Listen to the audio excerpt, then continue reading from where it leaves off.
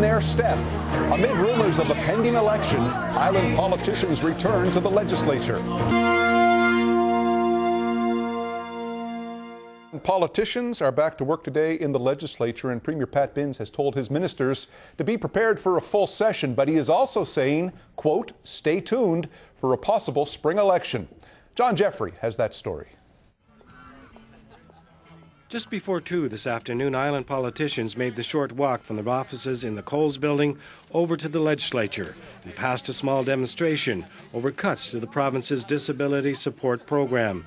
It's a rite of spring for MLAs, protest and question periods, but there's more stake this time with the provincial election looming.